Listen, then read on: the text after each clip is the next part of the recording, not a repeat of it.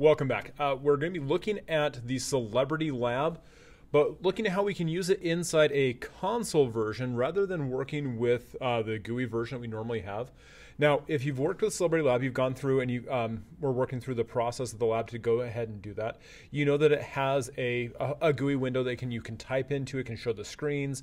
It has worked with that. Unfortunately, if you're trying to work with, say, for example, systems like Replit, or you're uh, on a a Chromebook and you don't have access to that processing power, and even using Replit, using a GUI, it's a lot harder. It's a very, very slow. So we want to make sure we can have a way to do that same Celebrity Lab, but work with it in a console fashion. And so all we have to do is we have to just make a couple changes to make that happen. So as you can see right here, I've got my regular um, file list over here inside my um, Celebrity Console demo. This uh, REPL is going to be deleted. I'm sorry, I'm not going to keep this open for everybody, but it's here so we can just do a quick little demonstration and see some of the features for that. And so we have a regular um, main. It's going to start off with a Celebrity Console game app as a new Celebrity game console. No worries. And so in my Celebrity Console game, it's going to look a lot like what we saw inside the regular Celebrity game app um, file itself. It has a celebrity that's working with, as an array list of celebrity game list. You have to go through and do all that logic to put together. However, instead of having a view for it when we're using a, a frame or a, a, GUI component, we're going to just put a console with that, and that's where all that work is going to happen.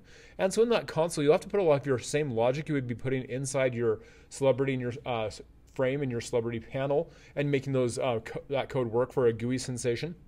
But instead of working with that, using a um, user inter- like clicking and buttons and stuff like that, we use the tried and true method of using a scanner and using that scanner to retrieve the data from the keyboard. That way, it works easily inside this. And so we can go through and work all that same stuff. You have to do the same buildup of all your logic and structures. You just have to do a little couple uh, changes with that. Uh, specifically, when you're talking about the changes, uh, you do need to have a data member for your scanner. Of course, you have the strings you'll be using inside that game, and then we'll use a time variable. This needs to be a long, not something we actually cover as part of the regular um, course course exam description subset of Java, but it's a bigger number because when we're talking about the uh, timing values, you have to have that um, just inside there.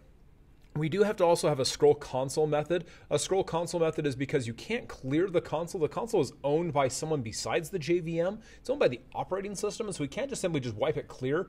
That's something we don't have access to. So we, will just use a, a, scroll console method, which basically just is a lovely for loop to dump out a whole bunch of blank lines to clear out the screen. I know it's not efficient, but it's a great way we can make that work.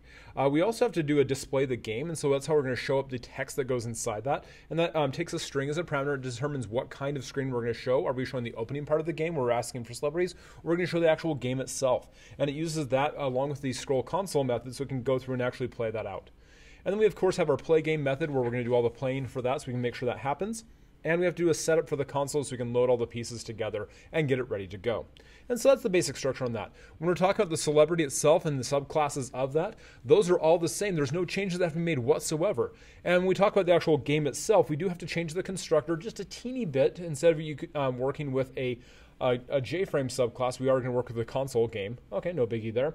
And the play method does a slightly slow, uh, a little bit different change. But all the stuff that you're doing for the actual logic itself, like the add methods, the process guess, the validation methods, the getters that you use to actually retrieve the information, none of that changes. All that stuff stays just the same. And so let's go ahead and do a quick little demo for that right here. Let's go ahead and start. We're going to use a, um, a couple different celebrities right here. We'll start with Analytical, and she is a celebrity, and she is a Twitter uh, personality, dev specialist, Ria Galanos. And Ria is a celebrity as well. And she graduated from teaching to Yext. And let's do another um, guest right here. Let's do Jerome Mitchell. And he is a rock star CS teacher. And we'll go ahead and start. And so we have our first one. We have a Rockstar teacher. So enter a start to begin game. As you can see, it scrolled down this giant space of stuff to try and clear that screen out. If you want to make that a little bit clearer, you can go ahead and add a couple lines to that loop to make that happen. And so our guest is Twitter personality and dev specialist. And so that's analytical. And boom, I graduated um, from teaching uh, to Yext. And we know that's Ms. Ria Galanos. But I'll spell it wrong and guess again, so it gives us the same clue. And so Ria Galanos. And boom, success, Rockstar CS teacher. And that's going to be Jerome Mitchell. And boom, I've got no more celebrities to guess. And because I have not spent that full minute of time right here, I'm just going to have to type a little bit. Wait a second. And we'll just do a couple little things to get scroll past this. And it's giving us the fact that I have no more celebrities to guess. So I'm just going to go that right here. And I'll run out of time here in just a minute. Do, do, do, do, do. Ah, time's up. Do you want to play again? If I type in yes, it's going to restart the application. If I type in no, it's going to go back and just end the game. So that's just a quick way we can do a quick demo on this. You can go through and use that same logic you did inside the actual Celebrity Lab. You just have to make some small changes. So instead of processing text from a GUI field, you're going to process text from scanners, like you've probably done in some of the other exercises. Take a look at the instructions, use some good logic. I'll put a checklist out inside the uh, uh, web page as well, and you can go from there. Thanks again. Have a good day. Cheers.